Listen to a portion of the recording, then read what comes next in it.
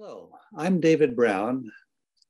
I'm the chair of the INNS History Committee, and we are uh, carrying out interviews with various of our distinguished scientists in the International Neural, Neural Network Society. Our guest today is Dr. Robert Kozma. Dr. Kozma holds a PhD in applied physics from Delft University of Technology of the Netherlands he has two masters in mathematics from Eötvös University, Budapest, Hungary, and from power engineering from Moscow University of Energy, Russia. He's founding director of CLION, the Center for Large Scale Integration and Optimization Networks, FedEx Institute of Technology, the University of Memphis, where he has been professor of mathematics and also computer science since 2000. Previous affiliations include UC Berkeley at the Division of Neurobiology, where he started in the 90s his highly productive collaboration with Walter Freeman, which continued for two decades. He also served on the faculty of the Division of Information Sciences, Otago University, Dunedin, New Zealand, and the Department of Quantum Science and Engineering, Tohoku University, Sendai, Japan. For over 10 years, he had various involvements with the US Air Force Research Laboratory, Sensors Directorate. He has seven authored and edited books and over 300 papers in journals and in proceedings. His research interests include spatiotemporal neurodynamics, large-scale graphs and networks, and the emergence of intelligence behavior in biological, computational, and engineering systems. He has served on the governing board of the INNS and as president from 2017 to 2018. He has been elected member of the board of IEEE, Systems Man and Cybernetic Society, and the ADCOM of IEEE, Computational Intelligence Society. He is a fellow of IEEE and a fellow of INNS, and has received various awards, including the Gabor, Gabor Award of INNS. He is presently the editor in chief of IEEE Transactions on SMC Systems, a world leading journal in cybernetics and intelligent control systems. Now, in addition, I would say a few more words about Walter Freeman, as mentioned above. Walter Freeman was an American biologist, theoretical and experimental neuroscientist, and philosopher whose pioneering research on experimental and theoretical aspects of oscillatory neurodynamics resonates strongly with us today. He studied physics and mathematics at the Massachusetts Institute of Technology, electronics in the Navy in World War II, philosophy at the University of Chicago, medicine at Yale University, internal medicine at Johns Hopkins, and neuropsychiatry at the University of California, Los Angeles. He received his MD cum laude in 1954. He authored over 450 articles and four books. He was president of the International Neural Network Society in 1994 and was a fellow of both INNS and the IEEE. He received the Bennett Award from the Society of Biological Psychiatry in 1964 a Guggenheim Fellowship in 1965, the Merit Award from NIMH in 1990, and the Pioneer Award from the Neural Networks Council of the IEEE in 1992. He was a professor emeritus of neurobiology at the University of California, Berkeley until 2016, when he peacefully passed away in his Berkeley home. And from personal experience, I would say he was a prince among men. Well, Robert, let us move on now with our questions. And to begin with,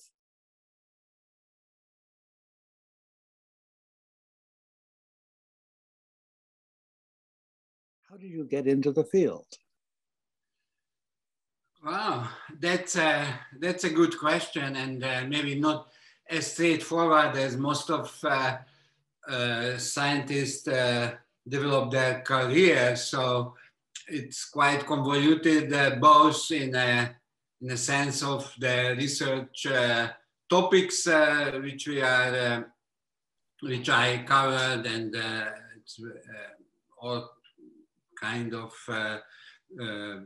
areas starting from physics, mathematics, biology, engineering, and so and so forth. But also this trajectory was very convoluted in a physical space, so it covers a large part of the globe. And uh, maybe I will talk a little bit about that. But, uh, but uh, just to start with how uh, uh, started. Uh, so I, I actually was grew up in the family of mathematicians. Uh, uh, my parents were mathematicians. My mother was a high school teacher of mathematics, and the father also studied mathematics. And uh, and I was good at mathematics. I was uh, one of the best in uh, in among my peers. Attended all kind of conferences and uh, sorry competitions, and and some of them I won. And that means something because that was in Hungary and Hungary is considered uh, strong in mathematics. So, so that, uh, that gave me a kind of uh, uh almost trivial choice that, okay, uh, I should uh, continue as a mathematician straight, straight on. Now, as it turned out, the real life was much more complicated and and, uh, had, uh, uh, more turns along the way.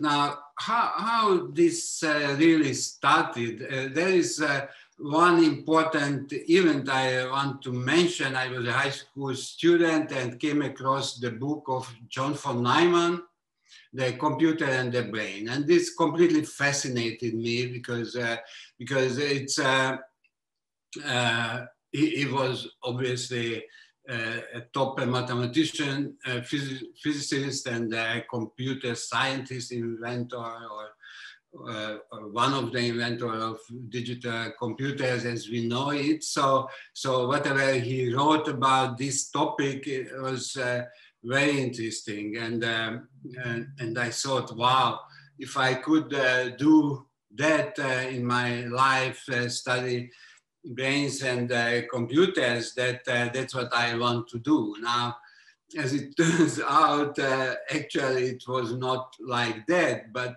I'm really uh, very interesting uh, turn a full circle now after 30, 35 years. This is actually what uh, what I'm doing. So it came true and I'm very thankful, thankful for that to happen. Um, okay, but that was a long time ago.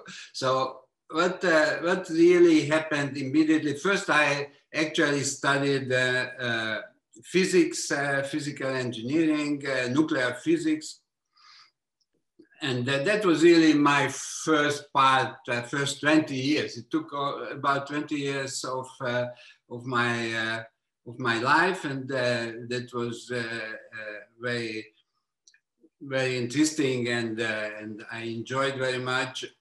But it, so after 20 years, really, ultimately, I I switched more close to what we talk now about neural network. And uh, during this uh, uh 20 years, uh, this first 20 years, so what, what I would, uh, would say as a highlight of that part of, uh, of my physics uh, physics uh, career was I studied the different fields, the local fields and global fields, and uh, in uh, in uh, physics and the interaction local and global fields. And strangely enough, actually, that was very useful and prepared me for a lot of things that later on I, I faced in in brain dynamics.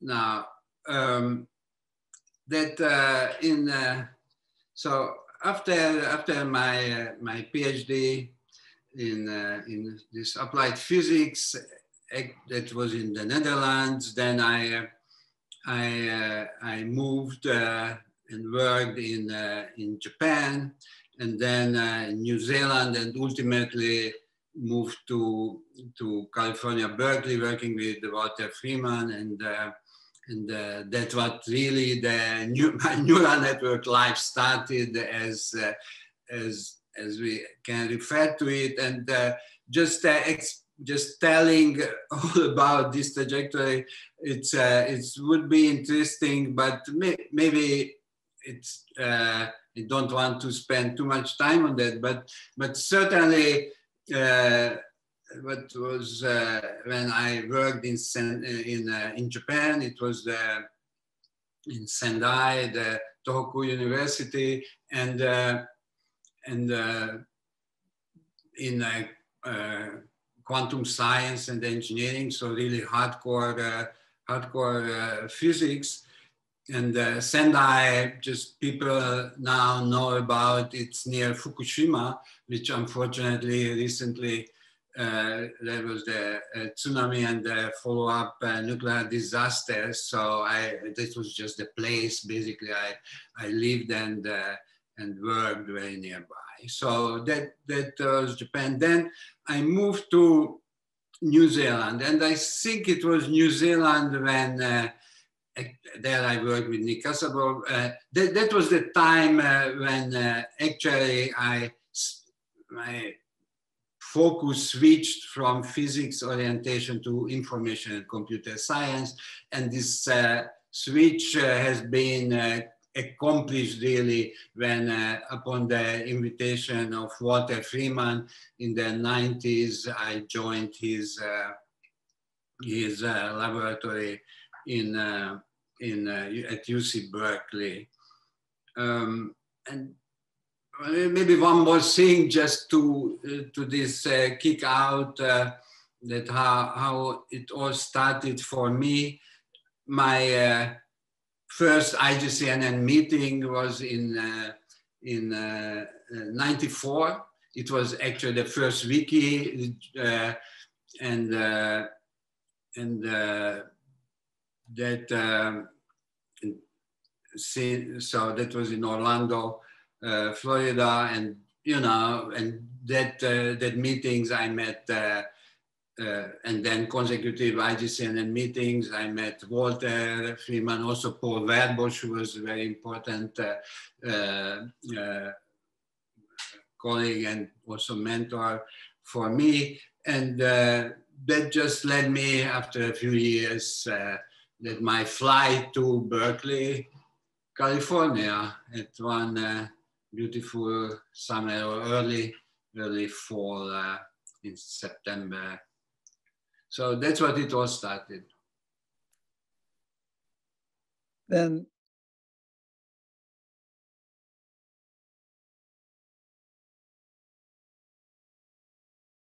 How about since then? What are your career highlights? And what can you tell us about your mentor, Walter Freeman? Okay, so that's a, that's a, that's a lot, but uh, okay, let's let's start. So I I mentioned that before getting into uh, into neural networks, I, I studied in physics, and sometimes jokingly I say that, well, nothing much changed actually since my work in physics, because in physics, I worked with uh, uh, neutron, neutron noise, neutron like elementary particles and, uh, and the fields the, of these neutrons and so on. And what I'm doing now, instead of neutron noise, I am doing neuron noise. So the neurons in the brain and the oscillations which create the, the complex uh, spatial temporal pattern which, uh, uh, which uh, uh, produce the intelligent behavior and uh, all what we study. So, so that, that's, that was kind of very interesting.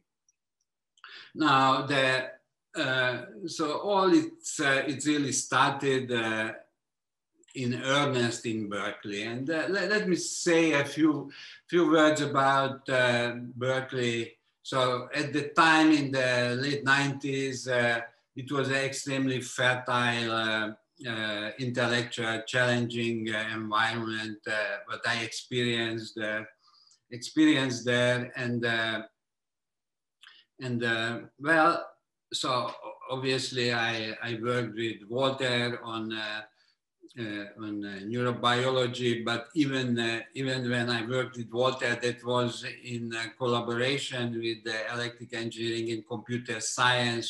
Shankar Sastry had a big project, and so what I was involved. So that that that was one part. But I definitely want to mention that in Berkeley there was there were at, at that time and obviously now as well, but I had the experience uh, uh, uh, interacting and working with, uh, with people like Leon Chua, uh, who's with his cellular neural networks is one of the pioneer um, in the field. And now we are talking more about memristors in the case of Leon, but, but yeah, so he, he was uh, very important.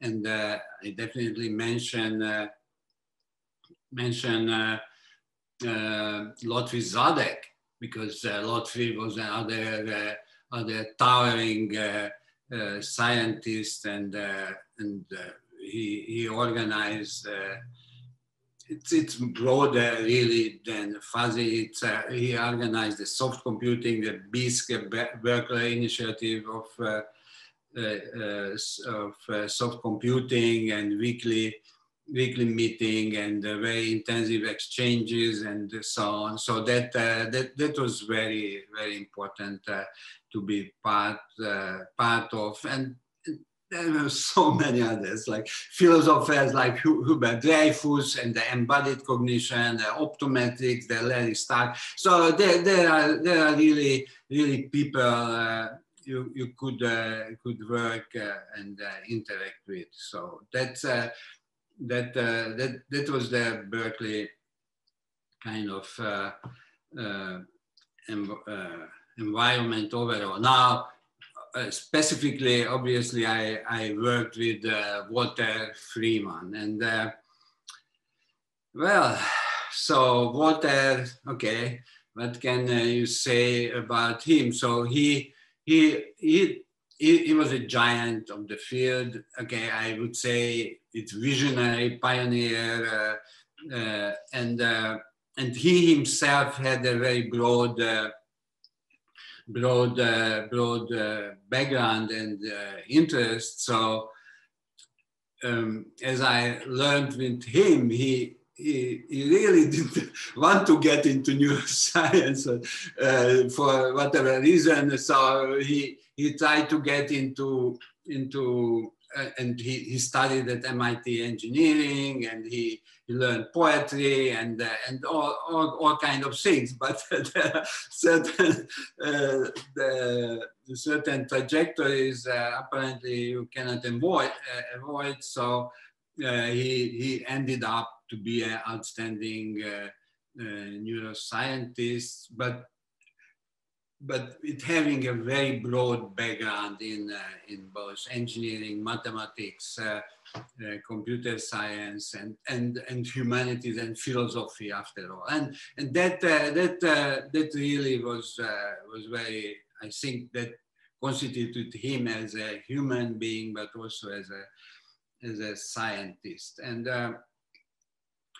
so, so that's why it is ob obvious that, uh, that when he, this concept of chaos in the 60s, early 70s came out, he immediately recognized the, the importance of the field and fully embraced and used it for, uh, for his research and uh, uh one of the pioneer in this uh, area.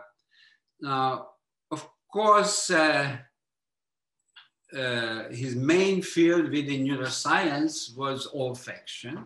Okay, I, I think uh, that, uh, and he did that for, okay, 60 years or so or more. So that's what uh, that's what uh, he was grounded, and uh, and I think that that was really really very important in multiple ways. And now looking, looking back, uh, that actually prepared uh, for, uh, for studies of more advanced sensory systems because what I learned from Walter that, that really olfaction is one of the the most ancient, uh, if not the most ancient sensory systems, you know, the, the, the uh, or, or olfaction or the in the water, the, the following the gradient, the amoebas and so on. So that's what it is there always. And uh, and uh, then uh, and even for uh, for up to the mammalian uh, uh, levels, the olfaction lower level, it's uh, it is very important,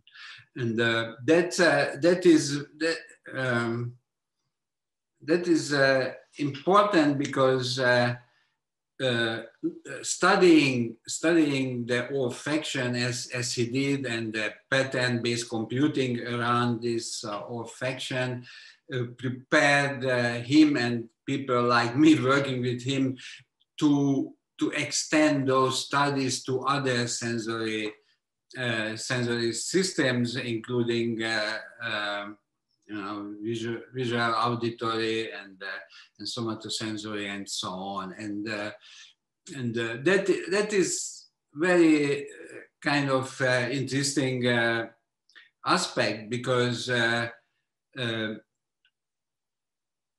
it's obvious that olfaction has this periodicity, right? So when you inhale, then you sense. When you exhale, you don't uh, okay, at less degree. So there is this type of uh, underlying periodicity.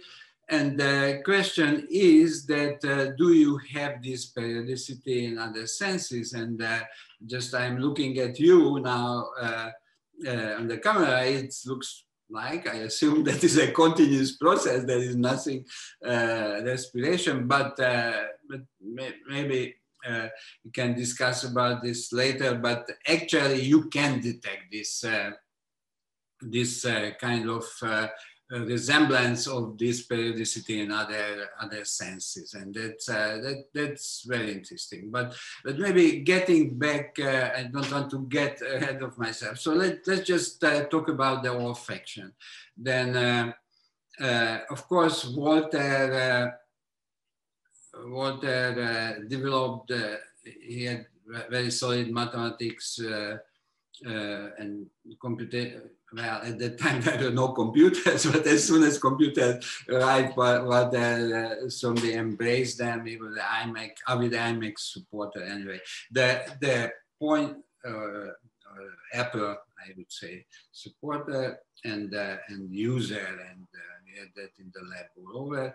Now, the, uh, but it's important that uh, for this uh, dynamic view on, uh, on, uh, on, on neural, neural processes, spatial temporal dynamics, he, it goes back to his uh, interaction with Katchalsky, Aaron Katzir Katchalsky, who's one of the pioneer uh, in the field in population dynamics in complex chemical, you know, biochemical processes. Unfortunately, he was tragically assassinated in 72 by terrorists. So uh, Walter was very, as I learned from uh, him, so very, very, very, upset about that. And he decided that he needs to carry on uh, the torch and uh, and uh, really a lot of things what uh, later on uh, he worked with and then I get involved what now we call it uh, Freeman Katchalsky uh, models are this hierarchical uh, uh, self approach of self-organized dynamics, a different structure and and and functional levels in the brain, and this this also relates to um, to to the of course the the the self-organization in the context of Prigogine, Ilya Prigogine, uh, and uh, and the line later on with with Hermann Haken and the, and the open thermodynamics non-equilibrium thermodynamics Haken and then then the, the complementary principle, if you wish, that uh, Scott Kelso and along just follow up this line, Steve Bressler, one of the first uh, uh, PhD student of Walter, uh, actually uh, also along that uh, that path. So so that that is, I think, it's very very important, just as a kind of uh, when when I I talk about Walter, just to give uh, this uh, broader uh, background. Now, coming back to the highlights, okay? Is is that all right? So okay. Uh, so okay, so as as I cover different aspects of uh, complex brains and neural networks, mathematics, neuroscience, and some engineering. So maybe I can a little bit discuss about uh, or mention about those. Okay, so uh, the highlight in, in the case of mathematics uh, is, uh, is really going back to, uh, to, uh, to graph theory and, and network theory. And, and that the, what we now call uh, neuropercolation model. So it's a network theoretical model on criticality, criticality theory for, uh, for the dynamics. And uh, in, in that context, maybe I think it's important to mention that uh, uh, I, I worked on that very intensively when I uh, joined in Memphis in the early 2000. And uh, although I moved to Memphis, we still, uh, till his very last days, we, we collaborated with Walter. He was there with him in the, the last days. So, but okay, so I, I, moved to Memphis. Okay, what is Memphis? That's end of the deep south. So what you are doing in Memphis? Okay, so uh, all right. So there is one, uh, one, there are several reasons, but maybe one important thing uh, uh, people may know, I mean, most uh, scientists might know Paul Erdős. Paul Erdős, the network and graph theory guy who is another uh, leading, I mean, maybe one of the top mathematicians in the, in the 20th uh, century. And okay, if nothing else, the, the small world network, you know, the, when we talk about the Erdős number, how is your Erdős number? My Erdős number is two. I didn't write from Erdős, but I have a coauthor and so on and so forth. So, so that, that is Erdős. Now, Erdős uh, was, uh, was uh, actually another Hungarian, but he, he didn't live in Hungary. He, he was a world citizen in a sense. I, I, I believe, uh, most of his life, and he spent a lot of time in in uh, in the United States, in America. But uh, he didn't have any fixed point. He just didn't fit his style. He was just too active to get stuck in uh, any place. So he didn't. Uh, but in the maybe the last ten years uh, of of his life, actually he built up very strong combinatorics group Ralph Faudree, later became provost, and, uh, and uh, many other people. It's very strong, one of the top uh, uh combinatorics group uh, uh, in the country. because what Paul did in the last 10 years or so he, he regularly visited. He still didn't have a permanent appointment, but he just had a semi-permanent regular visiting every spring or once a couple of months per year, and uh, and he really enjoyed. So that uh, that that created this network graph theory group there. And by the time I get there, unfortunately, he he passed away few years before, but uh, there was Bela Bollobás. Bollobás, who is, uh, is one of the top uh, uh graph theory expert. He's from University of uh, Cambridge, UK, uh, member of the fellow of the Royal Society, member of academy, different places. So he's, he's very strong. And, uh, and uh, I discussed with him about uh, this, this, my ideas about networks and so on. And, uh, and uh, I saw that could be really exciting. So that's why uh, I, I was there and uh, we worked uh, and we produced this uh, this theory of of which is applicable motivated by brains using uh, graph uh, theory and including phase transition and criticality, edge of criticality behavior. Now, um, yeah, so, and then how it relates to neuroscience. So that we, we developed this, uh, and that is this neuropercolation. I would think it's, it, it, this, this has been around for 20 years, but I am am confident that it contains a very important breakthrough still ahead. Now, about the, the neuroscience aspects and how, how this uh, relates and what, what is what is maybe the highlight in the neuroscience and that uh, that actually uh, but uh, but we with uh, Walter we called it uh, maybe the cinematic theory of cognition or perception and of course Walter developed this theory for a long time but but it was more intuitive. Uh, and uh, so after uh, we started to work together, we could give it a more formal, rigorous mathematical uh, framework and uh, and to this cinematic theory and, and maybe just uh, one, one way to, in a high level, I can express when I just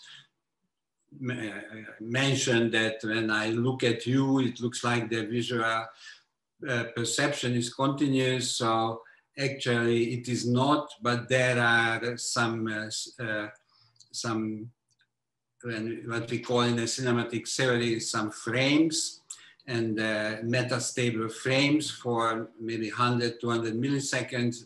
And then uh, there are uh, a couple of such a frames in a second, but that means that every second the brain kind of shuts down for uh, briefly and then it uh, rises again. So that, and that is, uh, can be described uh, and is described as a phase transition in the brain. And uh, of course, uh, there are mechanisms to smooth it out on the surface. So we are not exploding with our brain five times per second, but that's what actually is underlying the cinematic and cognitive phase transitions. Uh, and may, maybe I, I mention uh, the, the engineering aspects as a highlight because that, uh, that is also, also important and uh, that relates to the embodiment of uh, this mathematical and and biological theories on engineering design and uh, uh, it relates to the embodied uh, cognition and uh, and uh, so um,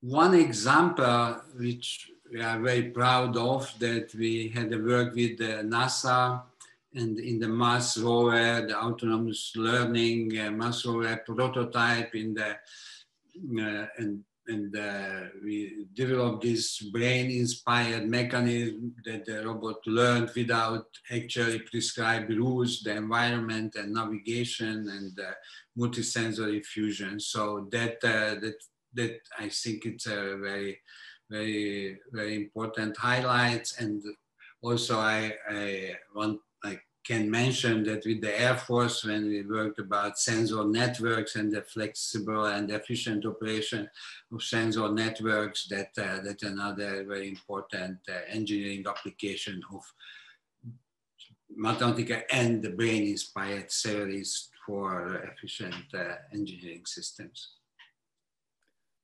Okay.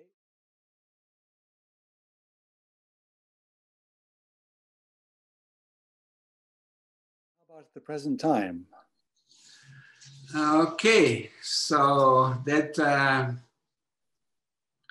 so what uh, what we are what we are doing now.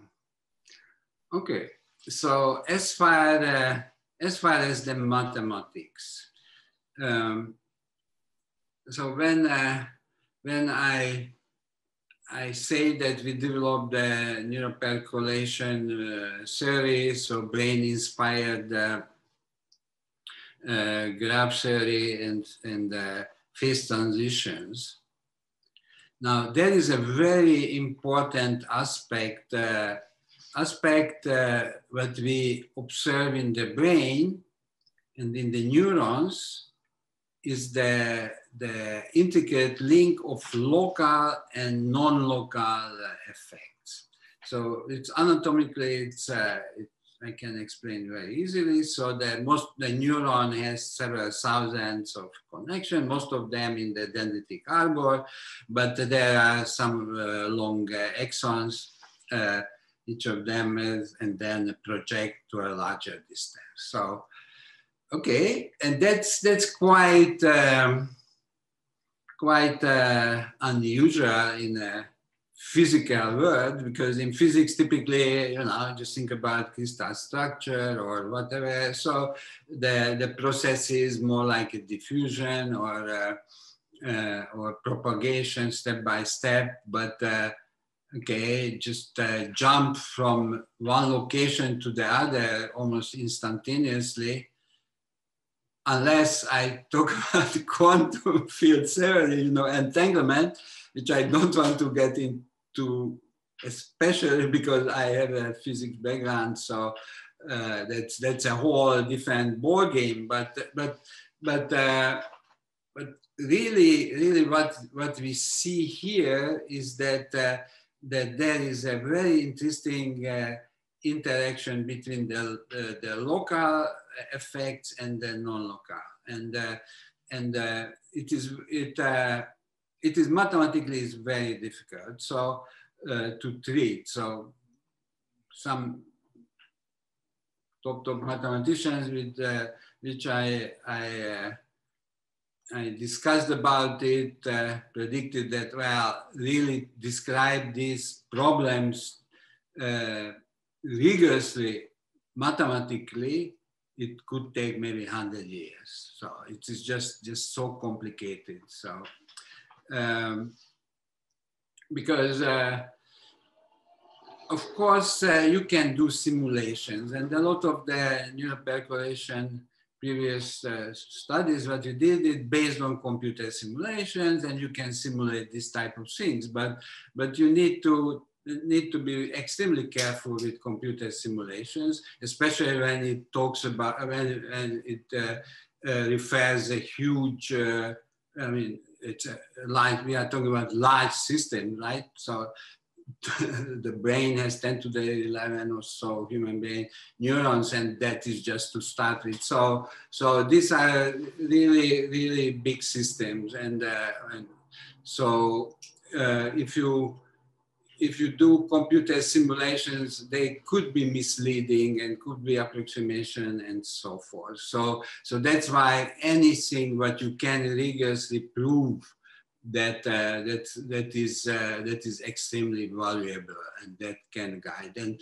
and that's uh, in the mathematics. Uh, I'm very proud that uh, relatively recently we proved with uh, some colleagues some rigorous theorems that uh, actually uh, adding uh, these long, long connections uh, formally prove that it uh, produces phase transition. So, so maybe just uh, one way to think about that if you have just a lattice, like a square or hexagonal lattice, Ising model, people know that, uh, that's fine. So for that, uh, you can uh, describe, and there are very good series of, uh, of, uh, of, uh, of statistical physics and mathematics and percolation theory and so on and so forth. But now, if you superimpose on this regular lattice a few a random graph with, with sparse edges, that the all those theories, I mean, it's just it requires a complete, that's a different ball game. So we, we've proven something uh, of that. It has a phase transition that is very interesting uh, consequences. And now we, we work on further along this way uh, in how this impacts and how it produces these uh, intermittent uh, oscillations, what we see in uh, in brains. So that, that, that was the, the mathematics. Now, okay, so as far as the cognitive uh, and perceptual processing, so, okay, so for, uh, for one thing, um, I can, uh, I can mention, and that was some of the few projects uh, which we worked with Walter intensively, SCALP, EEG measurements, uh, high density. So we had the headband uh, Walter's designed, and then in Taiwan we had some uh, companies who produced the prototype, and uh, and uh, so we, we that's that's very important that brain uh, brain computer interface. But but but I but I'm really, really very fascinated now uh, how this may relate to higher uh, cognitive functions. And uh, now I dare to say consciousness. For you know, I'm for a long time, especially coming uh, late, uh, relatively late into the field, I was very uh, to be extremely careful with the consciousness. But but actually, now I am uh, working with uh, outstanding uh, scientists uh, like uh, Bernie Baars from the former Edelman Institute, Neuroscience Institute, uh, but he's a global workspace theory for consciousness. So what, and we just recently had some, I consider extremely interesting publications on how his uh, conceptual framework of this global workspace and the conscious broadcast and uh, and uh, jumping the foreground and then uh, going back uh, actually could be interpreted uh, could, be interpreted as a as a phase transition and and the, what we measured for decades with Walter, this propagating phase gradients and uh, so on uh, uh, at a certain incipience uh, point, uh, then uh, they could, could, could be interpreted as, as manifestations of that, that conscious broadcast and I mean, this is really a hot field. So just really within weeks or months, we interacted with Jean, uh, Jean-Pierre Changeux and uh, and so uh, people in the field. So there is something happening. So I think that's uh, very exciting. The and other interesting uh, topic, and just shoot me down if it is too long, but maybe I just mentioned two more two more thing uh, is that uh, the brain rhythm I, uh, relates to that issue what Walter always started with olfaction, but how this uh, brain rhythmicity relates to the uh, reflect some of the properties of uh, of olfaction and yeah I think it's that now we with colleagues in, uh, in neuroscience. We published very successful paper. Just heard the other day that we had the top 10 cited paper in a journal and so on. So in the last five years. So that's, uh, that, uh, that is good. Let me mention Detlef Heck is the neuroscience uh, component and, um, and that includes uh, both uh, animal experiments and some human as well. So, so that uh, that's that's very interesting how this respiration actually uh, impacts other senses as well.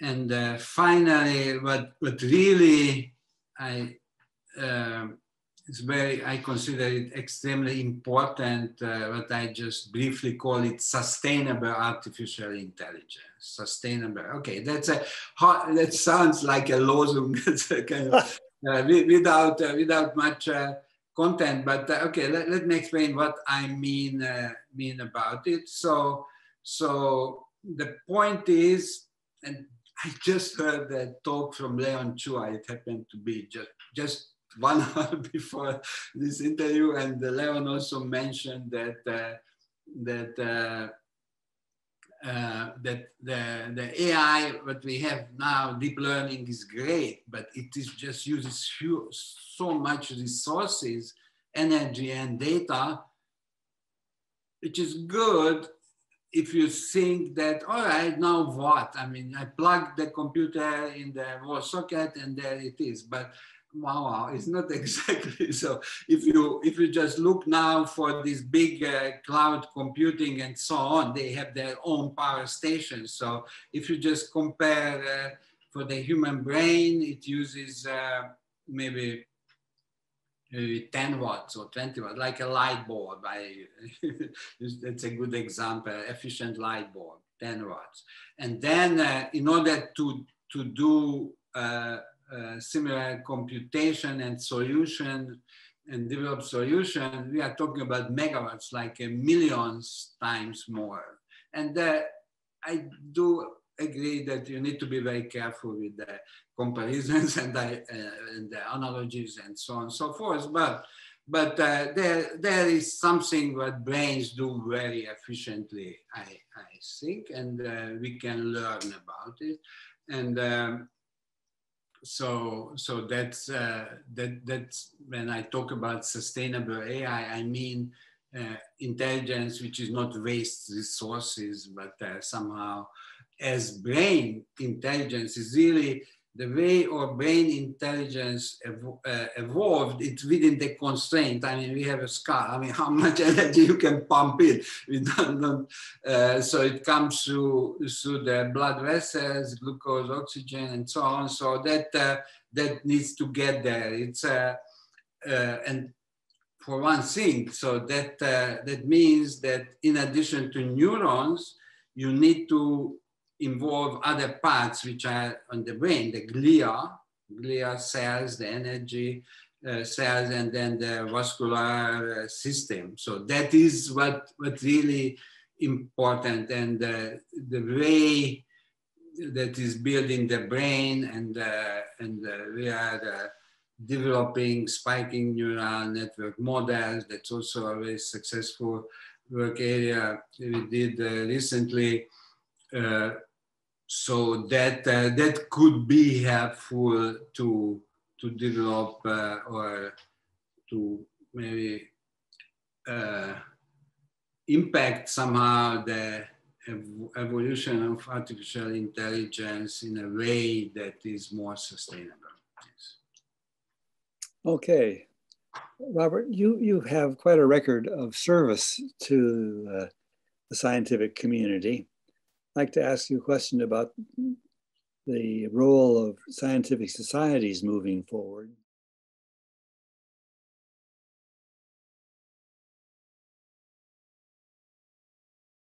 What role should INNS play moving ahead into the future?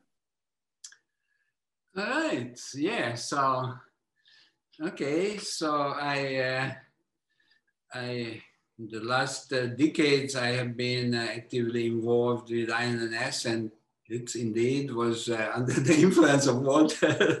so he, he, he, uh, he showed me that uh, that is really important. And, uh, and indeed, so the, the INNS as an organization, right, so it has been established more than 30, now it's almost yeah, in, in 87, so 34 years. So next year we have a 35. We need to celebrate. So. but uh, yeah, I remember we celebrated the 30th. It was in Alaska and so on. So actually, we have a nice book about it, and that's now the second edition is coming up. But uh, okay, so yeah, so the but what is I think it's important to see that uh, the INNS was a neural net uh, in the Society for Neural Networks is really was established by visionary people and that uh, that really launched the uh, a drastic, drastically new way of uh, looking at uh, at uh, both neuroscience and then then inter, inter, inter, designing intelligent systems.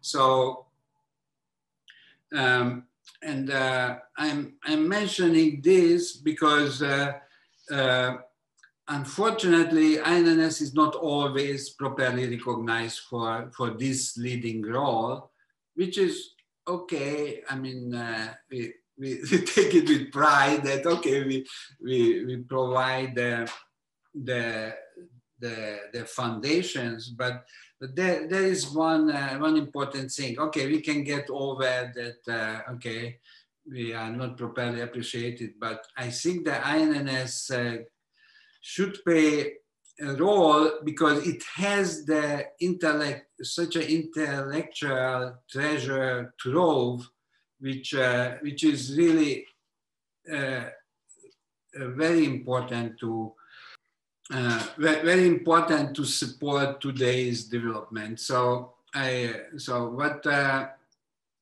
uh, what I so one important thing for INNS is that uh, that uh, get uh, get actively involved in in today's this intelligent technology. I don't really want to call it just AI because it's much broader than that, but uh, and uh, because it it it has the responsibility because it was really originated here. Of course, there is a history as well.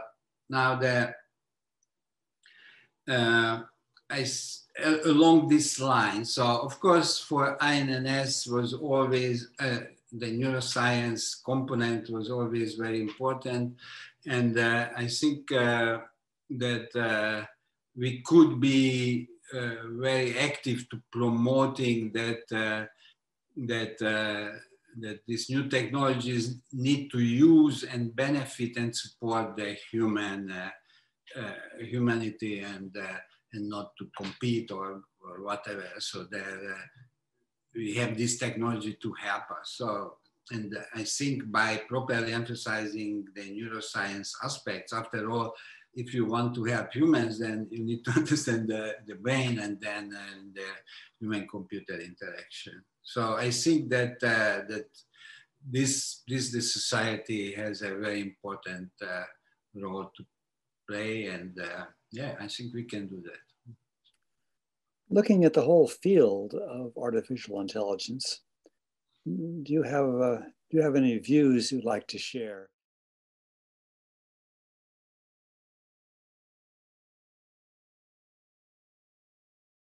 What are people doing right or wrong in, in AI? Wow. Well, okay, I can just roll what I started previously. So yeah, so I think this uh, this whole thing uh, uh, what is right or wrong with AI. It's uh, okay. What is wrong with AI? It doesn't. Uh, uh, if if it doesn't admit that it's really neural network. So uh, so what what what is now AI we are talking about, right? The deep learning that is multi-layer perceptron running for Paul Werbos 30 or 40 years old backpropagation algorithm. I mean, that's what it is. I mean, people who are who are uh, doing uh, doing the the the science, I mean, they they know. I'm okay. This is oversimplification as always, but but the point is that uh, that uh, this uh, this is what uh, what we have, and this this need to be this need to be recognized. And uh, the, really the way I see, of course, AI from the 50s, Minsky and uh, Papert and Simon and all this, that's it's, it's absolutely out, excellent uh, series, 50s, 60s, 80s, and uh, produced outstanding results, but it reached a certain plateau, okay? So they promised a lot of things. Of course, any theory cannot solve everything. So it reached, so there was a hype, let's put it that way, for AI, and then it's uh, burned out. Now in the, in the 80s, 90s, if you wish, there was more a hype with the neural network. now, now in the last uh, five, uh, uh, 10 years or whatever, now it's again, it's called a hype. So probably we cannot really escape this hype cycle. Maybe it's part of the science as, as we do it, but, uh, but we somehow need to see and uh, go, go beyond this. And uh, as for the uh, the um, the present, that that could solve a lot of problems that we face uh, today with the AI. When people say, okay, they are afraid of AI, and there is an overall anxiety that uh, the robots will take over the world, and then the clone army and robots and all, all these things or on the other hand, there are people say, okay, just have more implants and I, I want to become a cyborg. So, so um, I, uh, I think what, what, what is very important for, uh, for, the, for the AI or intelligent techniques uh, is, uh, is that uh, we need them for humans, to help humans, not to replace humans. Right? So, okay, so if we take this premise that uh, we want the human uh, to survive and flourish, then uh, please develop the technologies help humanity. And so I think overwhelming and um, everybody should agree with that and just need to be very, very clear about it. And then, then it's it's hopefully a bright future. okay, so that's about the AI, right? Okay. Finally,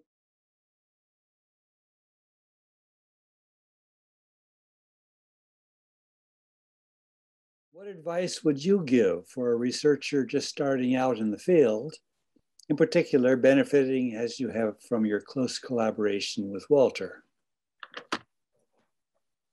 Okay. All right, okay. so my uh, first uh, important advice, read the book of John von Neumann, The Computer and the Brain, okay? So it is already, you know, 50, 60, 70, or what, 60 something years, but okay, just uh, it was written by uh, one of the giants in the field and, uh, and uh, it contains very important, very important uh, thoughts which are absolutely relevant uh, today. Now, of course, you need to be very careful uh, with the with what, what today the people call it the computer brain computer metaphor, right? Because if you if you take this metaphor too literally, then uh, you get to the to the one extreme situation that brain is a computer, so you can uh, replace everything by a computer and so on and so forth. So, so there, there are limits, but uh, I think that, uh, that uh, studying uh, this, uh, this reading this book, it, it gives you a perspective. Now, um, it is something on, uh, on the research uh, research uh, method methodology. So okay, I don't want to beat up on AI, but okay, let me use an example that uh, that uh, okay. So I want I I really advise that uh, new scientists should understand some of the root principles and theories which lead to the, the spectacular advances. So, because uh, otherwise, if you just use a huge computer code which you don't even know what it is, it's like a cookbook, you just uh, adjust some parameters and look it up, that doesn't lead anywhere. And that, well, I doesn't lead any good thing, I put in that. so, so that, uh, that, uh, that can uh, cause a lot of trouble. So yeah, so try to understand and appreciate the, the, the science, science and the depths, and then uh, then you use that technology. I think that's uh, that's very very important. Now, what uh, what I I think one of the most important uh, thing I I learned in this broader context from uh, Walter uh, that uh, that if you if you have a scientific uh, you know theory or conviction, then you stick to it, even if it seems to be uh, sometimes people attack and gang on you and so on. If you think it's right, then carry on. That's uh, don't don't give up and be be persistent and uh, and and and that, that that's the only way to find out uh, if you are uh, wrong, uh, uh, right or wrong. And as we know, any scientific theory ultimately loses in uh, its validity. So nothing wrong with being wrong. So just just keep on doing and uh, and uh, and, and, just do what what you feel really it's need to be done. And uh, you can, uh, along the way, you can take some low-hanging fruits, that's fine, but uh, don't get distracted too much so you can focus on the, on the main, uh, main goal of what you want. And uh, maybe, maybe one, uh, one thing to, to add that have a dream. Have a dream and be passionate about it.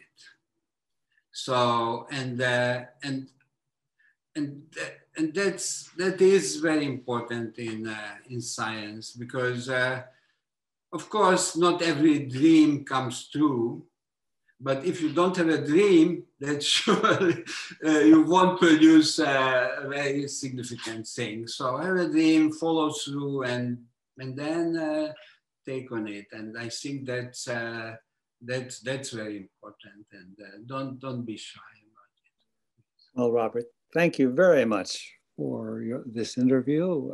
I have much enjoy talking with you and good luck with your uh, future endeavors. Yes, thank you, David. I really appreciate the time and energy.